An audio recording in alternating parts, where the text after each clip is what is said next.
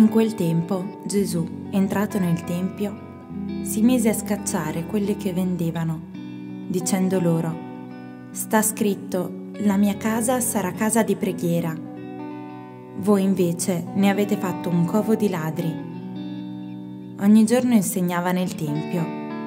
I capi dei sacerdoti e gli scribi cercavano di farlo morire, e così anche i capi del popolo. Ma non sapevano che cosa fare perché tutto il popolo pendeva dalle sue labbra nell'ascoltarlo.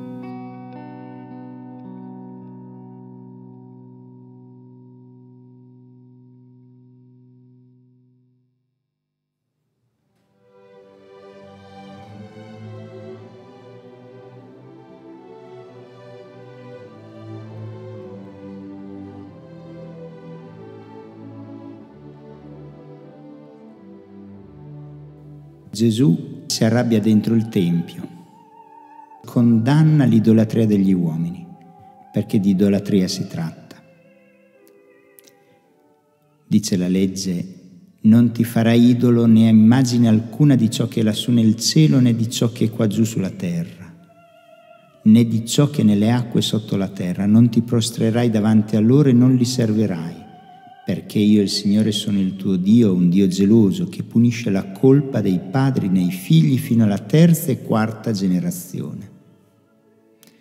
Ecco, Dio diventa cattivo, si arrabbia. Quando nel Tempio si riduce la gratuità del sacro al suo commercio, ecco lì è stato fatto un atto idolatrico.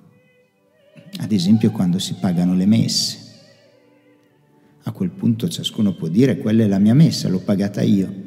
E succede proprio così. Abbiamo fatto della messa un atto idolatrico. Ecco, di questo sì, Gesù si arrabbia. Cos'è l'idolo? L'idolo è la nostra idea di Dio. Ogni volta che chiudiamo Dio nei nostri schemi, diciamo che dovrebbe agire in un certo modo, ogni volta che gli diamo contorni fatti a nostra misura, stiamo facendo un idolo. Siamo come degli stupidi che si fanno statuette e dicono ecco Dio.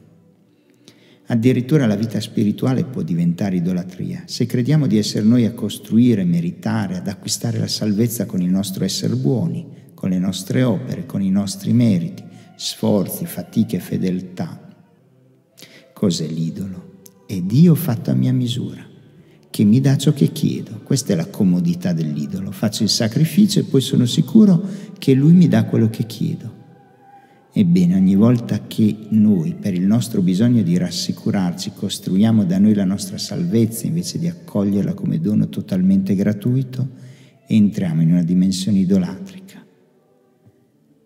E un tempio fatto così non è più un tempio di preghiera. Per questo Gesù si arrabbia.